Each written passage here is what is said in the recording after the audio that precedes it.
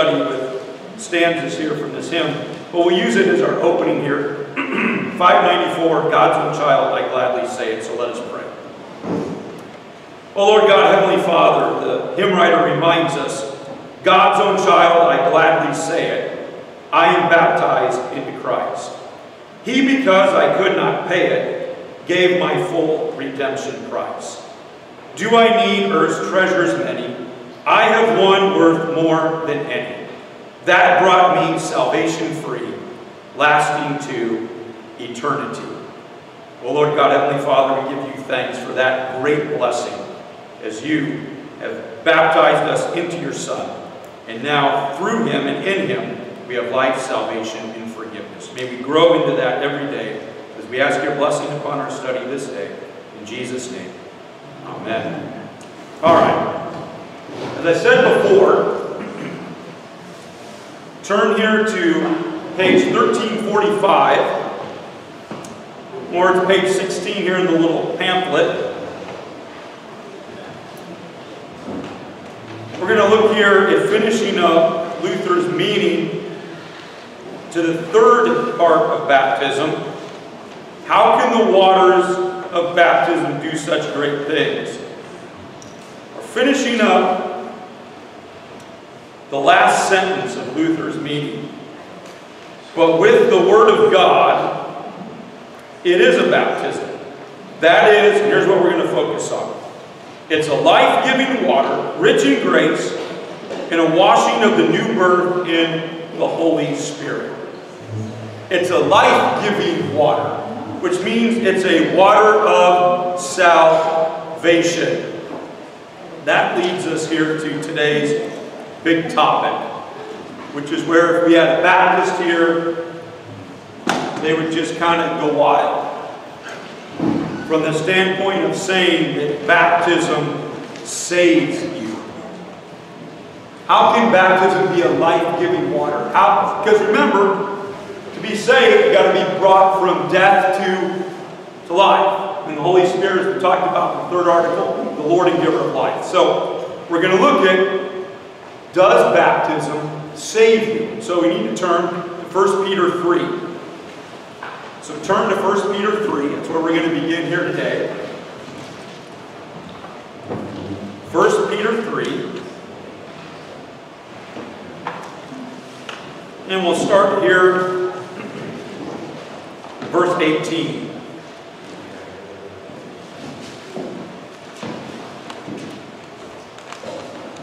As you're turning there to page 1296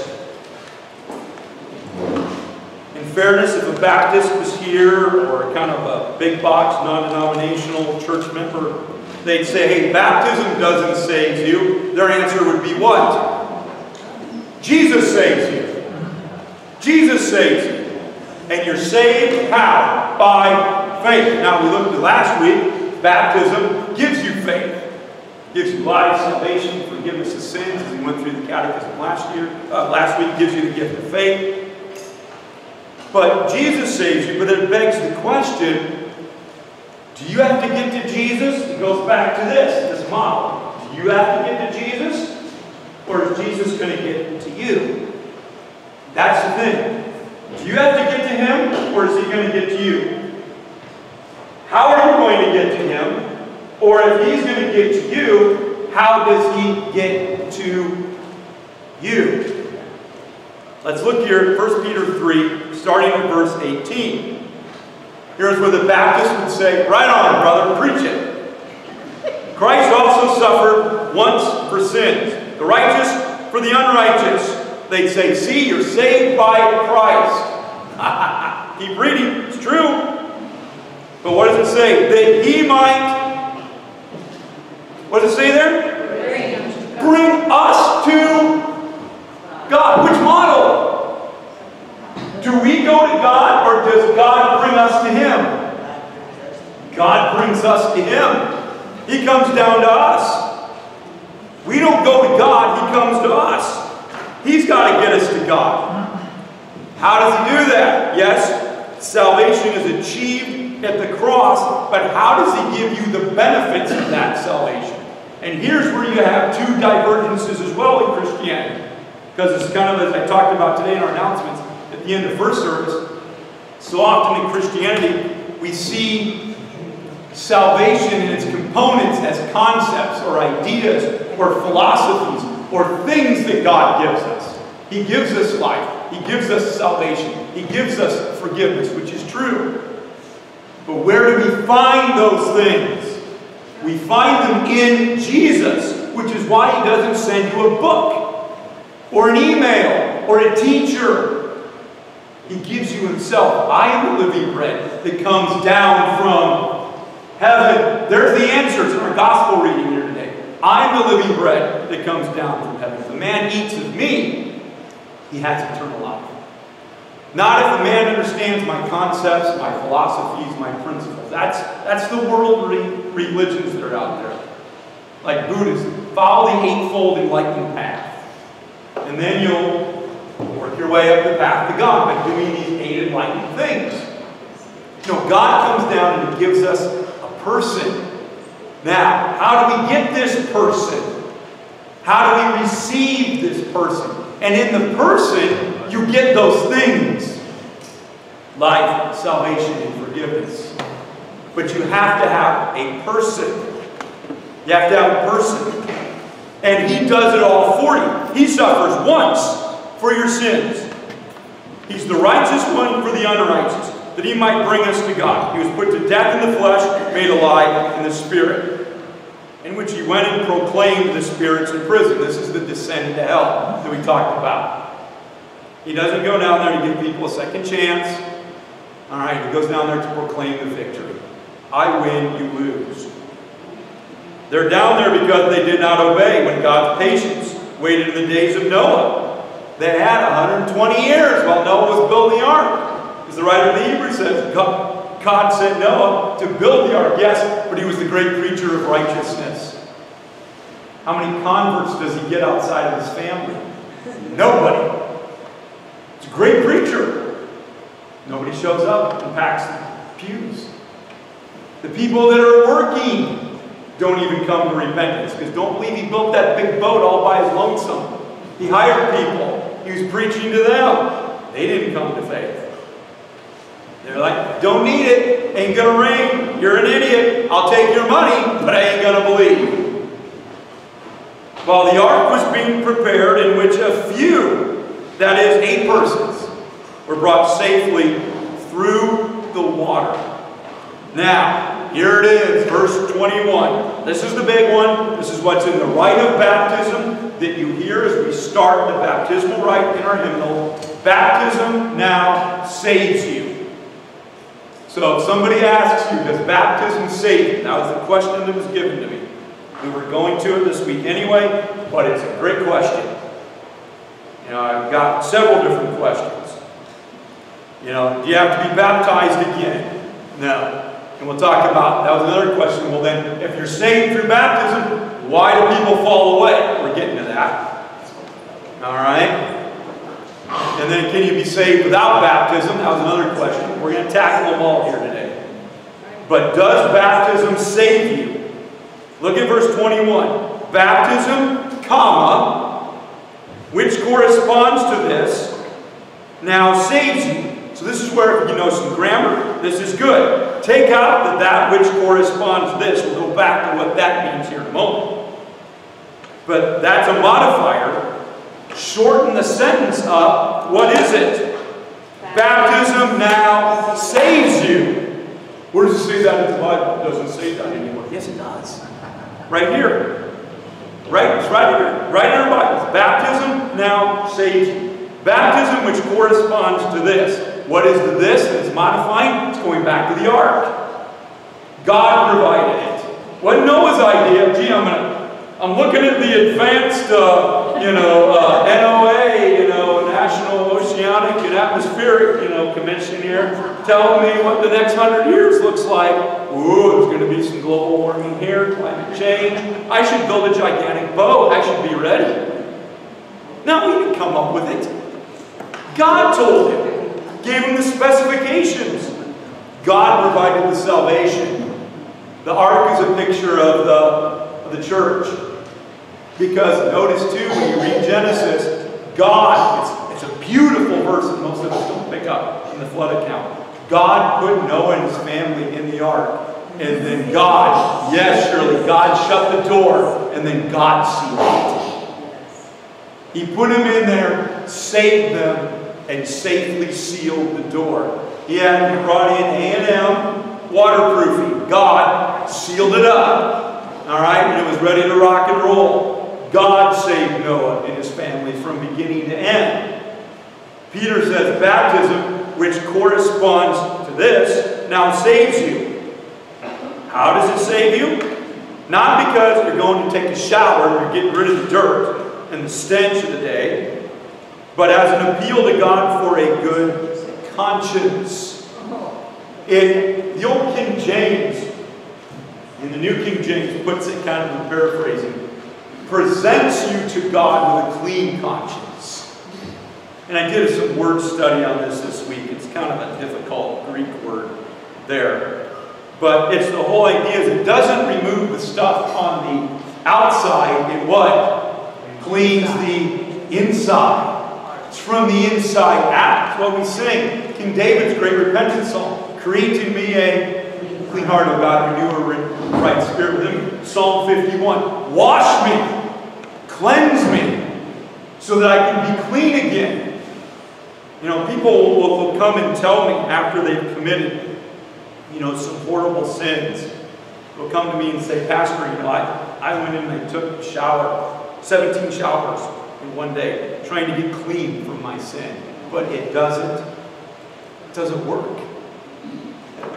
Water doesn't, doesn't clean you in the, can't clean the soul, can't clean the what? The conscience. Only God can do that. That's, that's the great gift of baptism. Now, how does it do it? Through the resurrection of Jesus Christ. We'll get that in part four of baptism from Romans 6. Baptized into the death and the resurrection of Christ. You're baptized into Christ so that you die with Him and you rise to new life with Him. You don't do anything, He does it. And he's gone into heaven, he's at the right hand of God, with angels, authorities, and powers. Even the de demonic realm now are all subjected to it. There's so much here that we talk about for a long time. But from the idea now, as the scriptures say, after the resurrection, Satan is thrown down. Can't go back in like we see with Job. Can't go back into heaven and say, you're going to let that dirty, rotten scoundrel Almighty in the kingdom of heaven? Don't you know what he's done? Here it is, whammo! You can't let that clown in. There's no way. What, is, what has Jesus done? Cast him out. He's done. He can't come back in. Why? Because all the sins are, as we read at the start of this, Christ suffered also for sins once for all, as Paul says. Here, Christ also suffered once for sin, the righteous for the unrighteous, to bring you to God. You're connected, as we're going to read in part four here of baptism in a moment, that we were therefore buried with him through baptism into death, or that Christ has been raised from the dead by the glory too might rise to newness of life.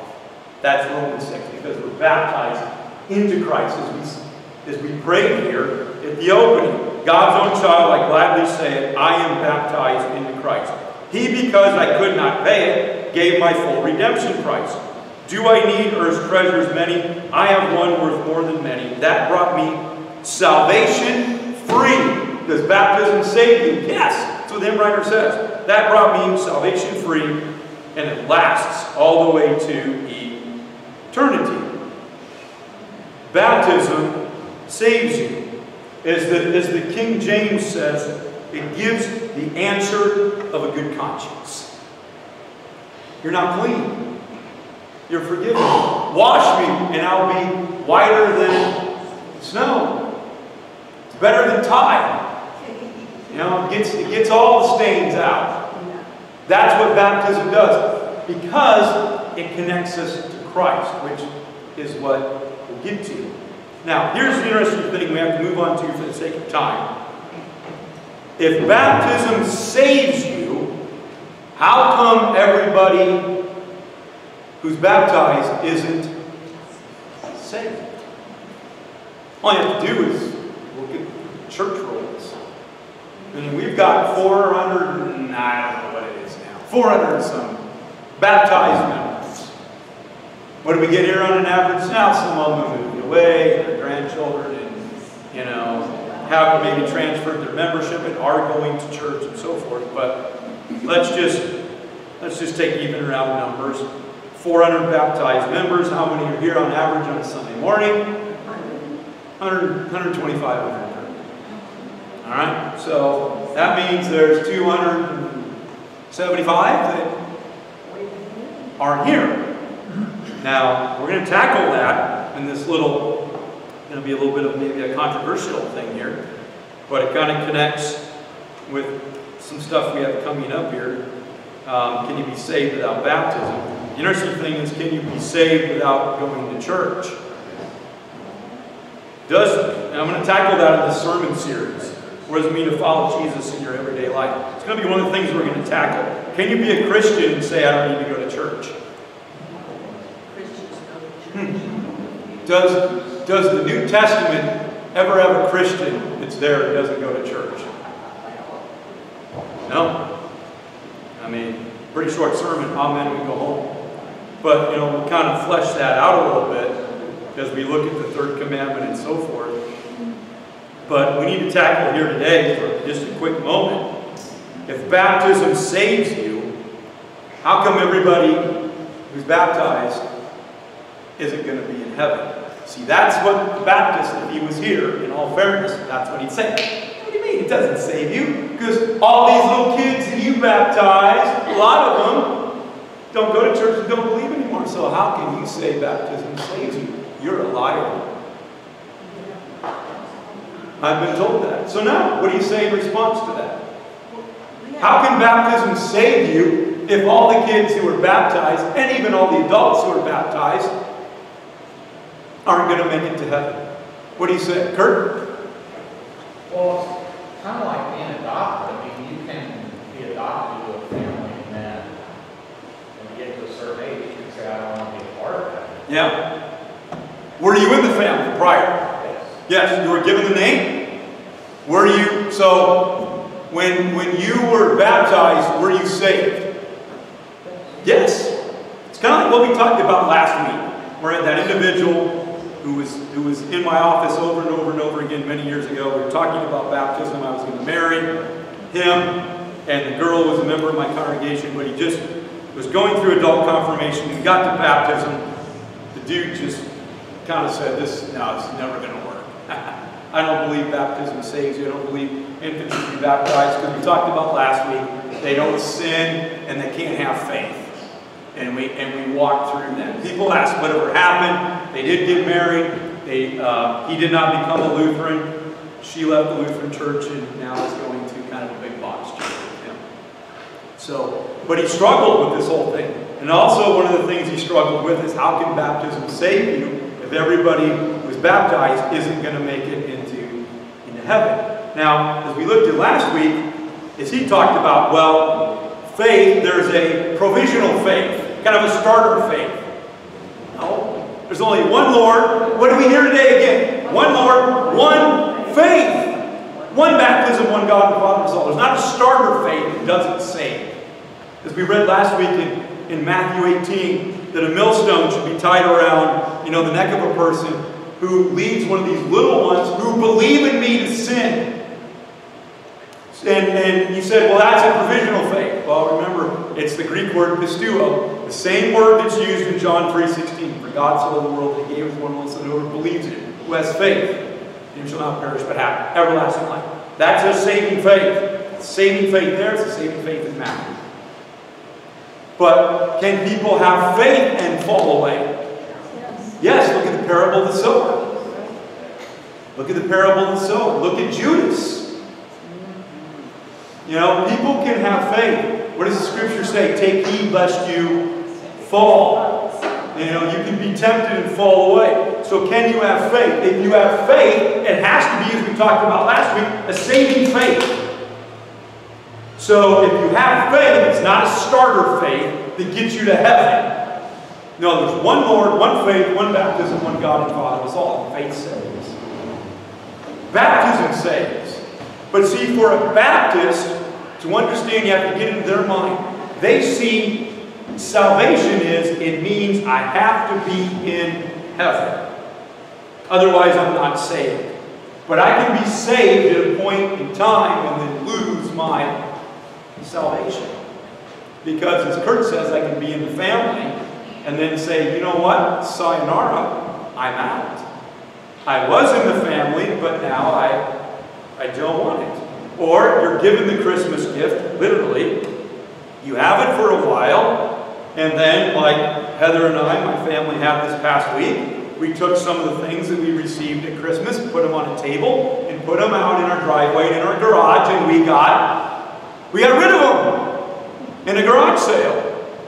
You can take this great Christmas gift and say, you know what, it was great, I used it for a while, but I don't really like it anymore. It don't fit, it don't work, I don't want it. You had it, but now you're putting it out, and like I saw at the garage sale, $5, no.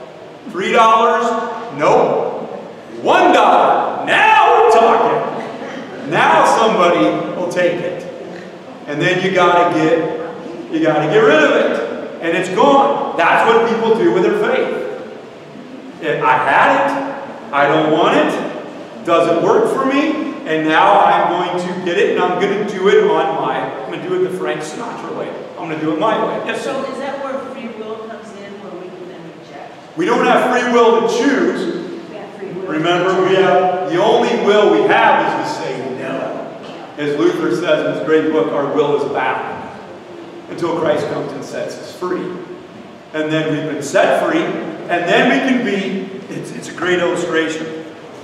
My kids know I like Andy Griffith. My parents raised me on Andy Griffith. So, you know, I had to watch it as a kid all the time. I remember we all sat around and watched it. All the reruns on TBS and everything else as a kid. And we had cable. But, uh, at WGN. But, um, you know, it's kind of like Otis Campbell. You're free, but you can go in and what? Walk into the jail and lock yourself back up. God has come and He set you free like Barney says, but hey, the inspectors are coming, Otis. Get out of jail, man. We got to clean this place up. You're set free. Then what does Otis go and do? Goes and gets his Barney would call a snootful, comes back, and as the inspectors were there, he uh, know, under himself and locks himself up in the jail again. We can do that. That's all we can do. I can't set myself free, but I can say, you know what? I can be like Otis and say, I want to go back to it, lock myself back up again. So isn't this one of the reasons God gives us adversity? Because that's what turns us around quite often? Yeah, no, that's why He gives us trials, tribulations. Of. Right. Because, you know, we always think that's the problem with the American Christian church today, that God's coming to give us blessings. And sometimes when we have blessings, we go on autopilot and we forget God. Sometimes, like we see in the Old Testament over and over and over again, God has to take his people and take them out into the wilderness. And that's why John the Baptist shows up. He doesn't build a honky megachurch in downtown Jerusalem with a big gigantic sign. He says, I got to get you away from all this stuff. And I got to get you out here where I can bring you to your knees, where you've got nothing to trust in other than me. Also, I struggle with the fact that attendance at church is the, the paradigm we use to judge whether someone has faith. Right. Um, you know, sometimes there's circumstances that Correct. there's not a church that's that's suitable, or you know, and so I don't know. I, I struggle with that. No, one. it is. It is. It is a tough one. But you know, it's kind of the interesting thing that can I be saved without baptism, which we'll get to here in a moment. Yes.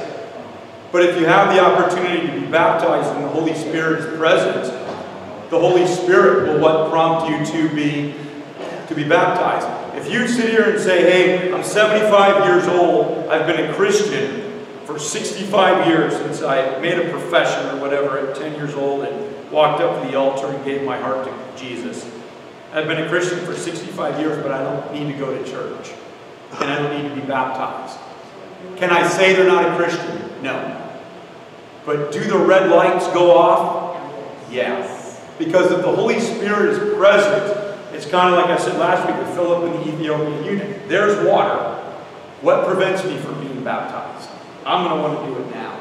The Holy Spirit is going to prompt you to be baptized. The Holy Spirit is going to prompt you to go to church. Why? Because I've got to find the person of Jesus. Is Jesus present with me at home? Is he present with me out on the golf course? Is he present with me when I'm driving the car, when I sleep at night? Yes. But is he there to give me himself in a special way with his gifts? No. Except through the power of his word. But the, the word and the sacraments, that he gives to the church. See, that's where I think we have to understand that Jesus didn't come to create. I think in America today, we kind of have this Jesus came to give me because it's I, I just need a personal relationship with Jesus. And it's just Jesus and me walking, and it's just between me and him. And that's not really anything that we find in scriptures. Jesus didn't come so that he could create a personal relationship between me and him. He came to create his bride, which is the church. And he saves his bride. Know, think of that great hymn, The Church's One Foundation. With his own blood he bought her, and for her life he died. And this is the church in 1 Peter 3 in the ark. That's the church. That's he's saving the church. He's coming to save his bride. That's what that's what Paul talks about in Ephesians 5. I'm not talking about a husband and wife. I'm talking about the relationship between Christ and his bride, the church about how he loved her and gave his life up for her. That's where the hymn writer gets that wonderful imagery from. Ephesians 5. Now, as I was saying in the sermon, can we say, okay, this person isn't going to heaven? No. But does it cause me to take heed and be a little concerned? Absolutely. And, and here's another thing to be concerned about. Just because you're at church every Sunday doesn't mean you're going to be saved either. So it's not like you sit here, I'm here to, you know, punch the punch the uh, uh, attendance card, and now I'm in. And then I'm sitting there and I got my phone out and I'm paying my bills and putting my bets in for the Sunday afternoon NFL game. And, you know, I'm on DraftKings and getting taken care of everything. You know, I got important things to do here today. Because this money line on that, uh, you know, Arizona Cardinals game, man, a living, that's ridiculous. They're going to get blown out. So, you know, I, I can sit here and I can do whatever I want. It's not just punching a ticket. That doesn't get me in either. What, what saves? Faith in Christ. And then I'm connected to Christ. Where do I go to get connected? That's the big thing. But what I want to tackle very quickly is if infants are saved through baptism, why do some fall away? I want to read something here that I pulled out of the commentary.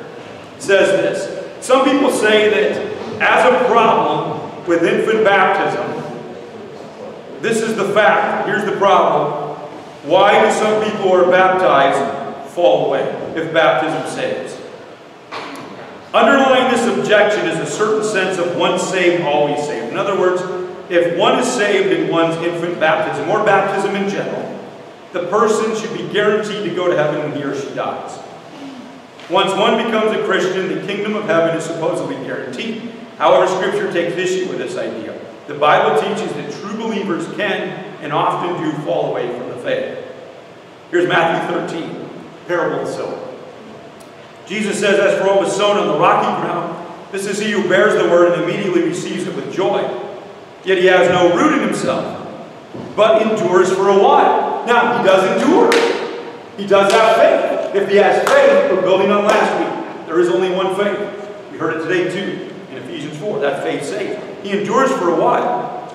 But here's the problem. Sometimes tribulation, it's meant to push us to Christ, but sometimes it can push us away. Because it's kind of the make or break point. I'm going to use that in this sermon series when we look at Revelation our Lord's letters to the churches. And he talks about, hey, don't be lukewarm. Don't, you know, don't be lukewarm. Be hot. I'd rather you were hot or cold. But sometimes when tribulation or persecution arises on account of the word, I'd rather save my life. And he falls away. As for what was sown among the thorns, this is he hears the word, the cares of the world, the delight of the riches, choke it out and proves unfaithful. 1 Corinthians 10. So if you think you are standing firm, be careful that you don't fall. You can't fall away unless you were standing firm and had faith. Then we've got 2 Peter 2. If they escape the corruption of the world by knowing our Lord and Savior Jesus Christ and are again entangled in it and overcome, they are worse off at the end than they were at the beginning. It would have been better for them not to have known the way of righteousness than to have known it and then turn their backs on the sacred command that was passed on to them. Of them the proverbs are true. A dog returned to its vomit, and a sow that is washed goes back to wallowing in the mud. There's just in this commentary three sections of scripture where it says somebody has faith and what? Fell away. Baptism saves, but you can fall away. Because remember, baptism is not magic. While an infant is saved in baptism, he or she can still fall away from the grace given in baptism. Infants must later be taught the meaning of their baptisms for their lives. They have to learn, as we're going to talk about here probably next week, to grow in their baptism, which we're going to talk about in this sermon series. We're constantly growing into who we already are. And the old adage is, if you're not growing, then you're what? You're dead or you're losing it. It's the old adage. Use it or lose it. Use it or lose it. And that's, that's what we have to do. Remember, go back to the Great Commission that we started in the first part of baptism. Go and make disciples of all nations, baptizing them in the name of the Father, Son, Spirit. Notice Jesus doesn't say, okay, to be a disciple, just be baptized. And it ends there. Go and make disciples of all nations, baptizing them in the Father, Son, and Holy Spirit. And then teach them to obey everything that I've commanded you. And surely I am with you always to that to the very end of the age. Which is why God gives us the preaching office. All right? A pastor, the Word of God, so we can continue to grow. You don't go to grandma's for Thanksgiving dinner and eat and say, okay, grandma, I'll be back again next year. And uh, I'm not eating until then. It was such a wonderful meal. Or, you know what, grandma, it was great. I'll be back, especially with the price of food right now. I'll be back. I'm not eating anything. I'll be back in 12 years. And I'll eat again. I'll come back for next that 12 years I'll come back for Thanksgiving and Christmas. Alright? I'll be there for both. And then if things really rock and roll, I'll be there for the Easter ham. Alright? No, you can't go a year, 12 years without what? The Word of God. Without eating because you will you will die. So, yes, we're saved and we're brought into the kingdom of God, but you need to continue to grow in that, in that faith. In that faith. And that's, that's the importance of it. And that's why God gives us, as we're going to see, not only baptism, but He gives us the, the Lord's Supper. And the point five sacrament, confession and absolution, that we'll tackle next, sandwiched in between baptism and the Lord's Supper. Notice it just doesn't end with baptism. No, it, there's also the Lord's Supper and there's confession and absolution. Yes, Ed? Just out of curiosity, Mm-hmm. have you heard of anybody who said that don't need baptism because the disciples were not baptized? No, but again, how do we know they were Well, baptized? I understand that. Paul was baptized. Um, many of our Lord's disciples were the uh, disciples of John the Baptist. And, uh, and, and I would say just because it's not recorded doesn't mean they weren't baptized. They were running around being baptized. I mean, baptizing others, so I'm sure they were baptized along the way. These are their words. Yeah, these are their words. Repent and be baptized. Every one of you, Peter preaches, I would say that would include him as well. Yeah. Yeah, but no, that's a, that's a, that's a really good question too. All right, now, the next question I was given is, Can you be saved without baptism? Turn to 2 Samuel 12. Let's go to the Old Testament. Now I'm going to say there was no baptism back here, I think, as we talked about last week, the Old Testament counterpart of baptism is what? Circumcision. That was around. Let's look at 2 Samuel 12, starting to verse 15. 2 Samuel 12, verse 15. This is now after David's sin with Bathsheba. For those of you maybe don't know, King David has a little uh, tryst with another man's wife, basically kills that man, takes the wife. During his little affair, um, King David gets Bathsheba pregnant. Then finally, David thought he covered the whole thing up, was going to get away with it. God sent the prophet Nathan in chapter 12. Has a great way of preaching to him that he's the man that's committed this incredible sin. David says, I've sinned against the Lord. And then he writes Psalm 51. Then what happens? What's the rest of the story, as Paul Harvey would say? Well, before Nathan leaves David, he says, God's not going to kill you. He's not put away your sin. You're not going to die. But nevertheless, because by this deed you've utterly scorned the Lord, verse 14, the child who is born to you will die. That's always hit me pretty doggone hard. And somebody else pays for the price of King David's sin. Eh, But I'm not God. Sometimes I don't have all the answers. Talk about why there, speculate, but we won't. Nathan leaves, goes to his house. Verse 15, the Lord afflicted the child, that Uriah's wife. Notice it's very interesting that uh, it's not called David's wife, it's Uriah's wife. That Uriah's wife, even though Uriah's dead, that Uriah's wife bore to David. And it'll later say that David, after the child dies, David goes into his wife. And she conceives and gives birth to Solomon. And in verse 24, David comforted his wife. But here, Samuel reminds us, now, wasn't really David's wife, it was Uriah's wife. The Lord afflicted the child that Uriah's wife bore to David, because when David impregnated her, she was somebody else's wife. There's why. And he became sick. David therefore sought God on behalf of the child, and David fasted and went in and lay all night on the ground. And the elders of the house stood beside him to raise him from the ground, but he would not, nor did he eat food with them. On the seventh day, the child died. Why is that important? The day before, it's his boy. The day before he would have been circumcised and brought into the family of God.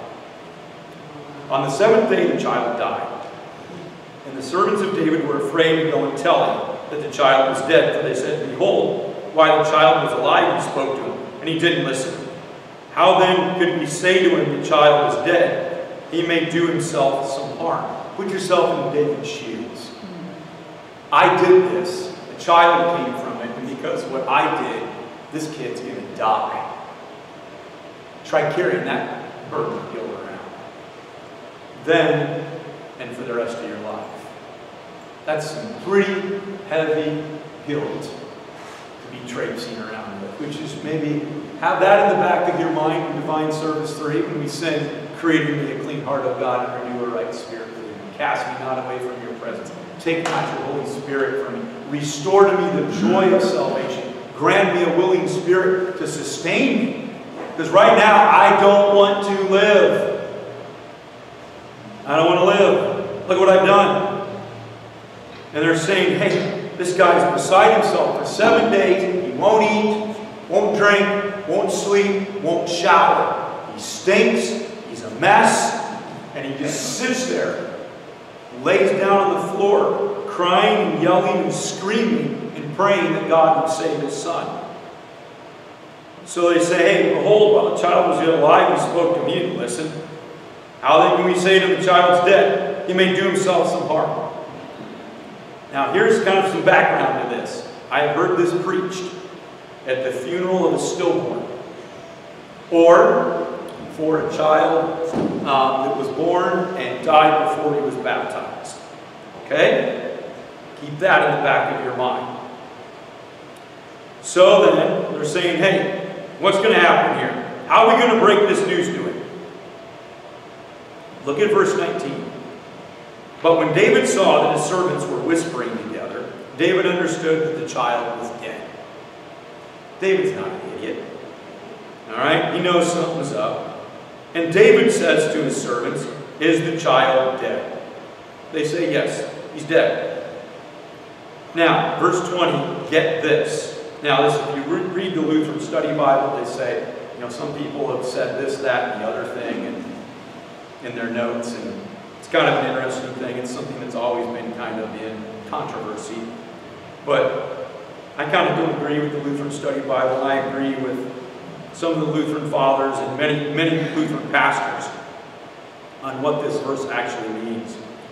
Then David arose from the earth and washed, and anointed himself and changed his clothes. And he went into the house of the Lord and worshipped. What? He, he, won't, he won't shower, he won't eat, he won't sleep. All he does is wail and scream and cry and pray. Then when he dies, gets up, showers, washes, changes his clothes, eats, and goes in to church and worships. Wouldn't exactly be my response. Then he goes to his own house. And when he asked, they set food before him and he ate. Then his servant said, What's up with this dude? What is this thing that you have done? You fasted and wept for the child when he was alive, but now the child's dead, you get up and eat food. And here's, here's the interesting verse that's kind of in controversy 22 and 23. David says, While the child was alive, I fasted and wept, for I said, Who knows whether the Lord will be gracious to me that the child may live. But now he's dead. Why should I fast? Can I bring him back again? I shall go to him, but he will not come back to me. Now, some people say, Lutheran Study Bible kind of takes this, that David's, you know, kind of almost in a state of, hey, it's just, he's dead, he's gone, he's not coming back, and I'm going to die, just like, you know, that's where it's at. I'll be straight up honest with you, I, I, I don't think that's a very good interpretation of this. I think, I think what David is saying here I, I, he's not going to, I can't bring him back to me. He, he's not going to return to me, but I will go to, to him. I'll see him again. Now, he saved, and I think that's why God took him on the seventh day. And as so many Lutheran pastors have said, and I've read so many different things on this, why does it say on the seventh day? Who cares? Unless there's a point. And for the Old Testament Jew, the point is huge. He dies before he's brought into the covenant family. And David says, hey, because then David would be saying, I'm lost just like him. I'm going to die and it's over. But you know, no, I'll see him again. I'll see him again. Why? Because remember last week, this is why we want to tie this all together. We read a couple of Psalms. What did David say? You made me trust in you even when I was at my mother's breast. You made me a child, even when I was in my mother's womb. So remember, David is the one who wrote those songs. So he's saying what? You can come to faith in the Old Testament church outside of circumcision. How? As Paul says in Romans, faith comes by hearing, hearing by the, the Word of God. David is confessing, did this child, as we talked about last week, did a child have trust? Yes. David is confessing, I believe that my child was given the gift of faith, brought in the kingdom of God. I, am not going to bring him back here. He's not coming to me, but I'm going to, I'm going to him. Can we be saved without baptism? Yes. You can, because faith saves through the power of the Word. Remember, going back to the catechism. Remember, how can water do such great things? Not just the water, it's the Word of God, and with the water that does these things. Along with faith, we trust the Word of God in the water. For without God's Word, the water is plain water and no baptism. But with the Word of God, it is a baptism. That is a life-giving water rich in grace and a washing of the new birth in the Holy Spirit. Can you be saved without baptism? Yes. But can you reject baptism and be saved? Can you sit here and say, I've got faith, I'm not baptized, I don't need to be baptized? No. Because the Holy Spirit is not going to reject baptism if He is present. Okay, any? We're kind of down here to the last two minutes. And then we'll get to part four next week and kind of really connect some dots, which I think is really good with connecting baptism to the person of Jesus. And probably, I wanted to get to it today to keep on schedule. You know what? It might fit really well with starting this sermon series next week with identity and baptism. And that we're baptized into Christ. And I will say one thing as a preview. It's interesting, our Lutheran fathers always picture the origin of the sacraments coming from where? The body of Christ. And you've got great Lutheran artists at, at the Reformation, after the Reformation. Jesus is on the cross. What flows from his side? Water. Blood and water. And they've got the water flowing into the baptismal font. They got the blood coming from his side flowing into the communion chalice. It's a great picture. Because from the side of Jesus comes the woman, his bride. Let's go back, and what does Paul call Jesus but the, the second Adam or the last Adam? Who's the first Adam, the first man? From his side comes his bride, Eve. From the side of Christ comes his bride, the church. And you've got the two sacraments. His side is pierced and flows, flowing into the baptismal font. Beautiful paintings. Beautiful paintings. The water flowing into the baptismal font, the blood flowing into the chalice. From the side of Christ. Because, again, what's the origin of the sacraments? Jesus. I am baptized into Christ. Into Christ. And next week, I'm gonna, I was sent, was a great email this week from Crossway Publishers. I buy stuff from them, so ah, I, so I got on their email list. When you got to input the stuff, you got to put your crazy email in. And then once they get you, they jam your inbox. But I got an email this week that just blew me away about some new book. And uh, it's called Personal Union with Christ.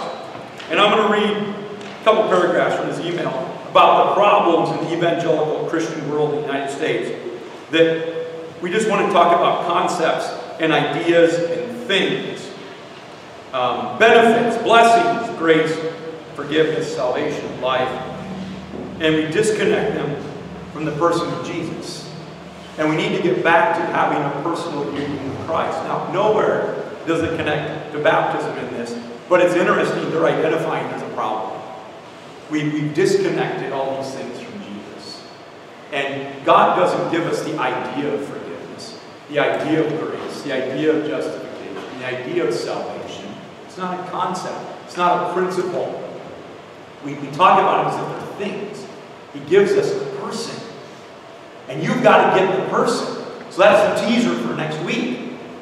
Where you're not going to get an idea which then will show you as we go into this Bible study, where am I going to go to find the person? I can stay at home and find ideas and concepts and principles.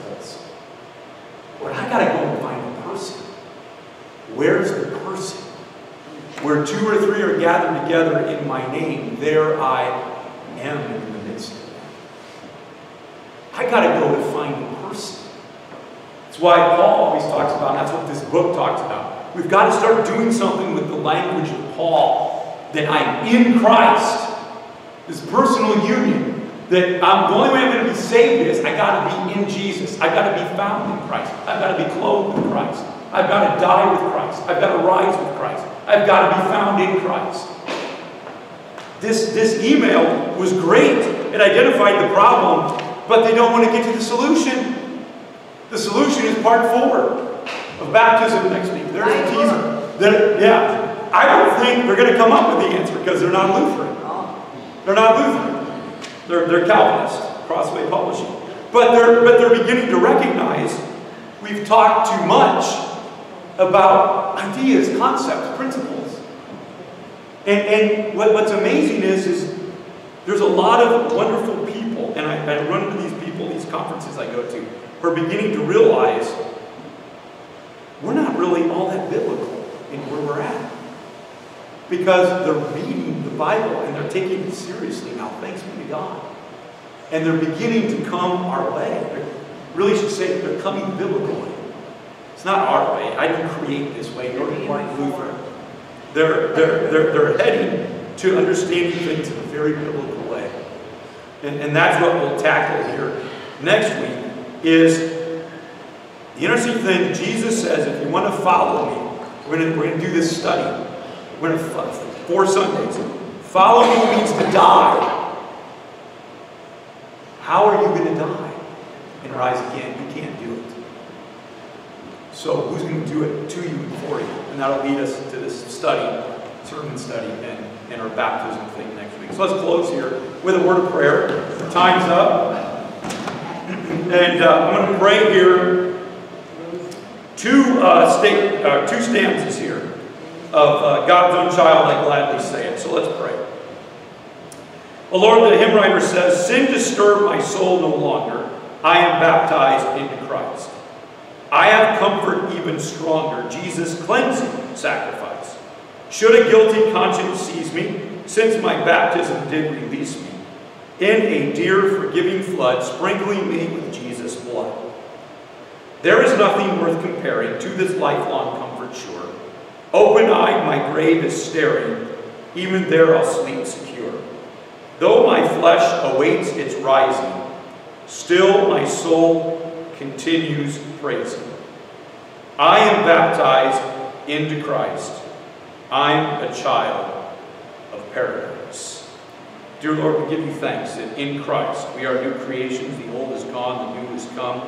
As we begin our sermon series next week, may we continue to learn as we look at part four of baptism next week. May we continue to learn what it means to, to die to sin every day in Christ and to rise again new life in Christ each and every day. We commend ourselves into your hands, giving thanks for that new identity, that new life that is found in our baptism into Christ. For we ask all this then in Jesus' name. Amen.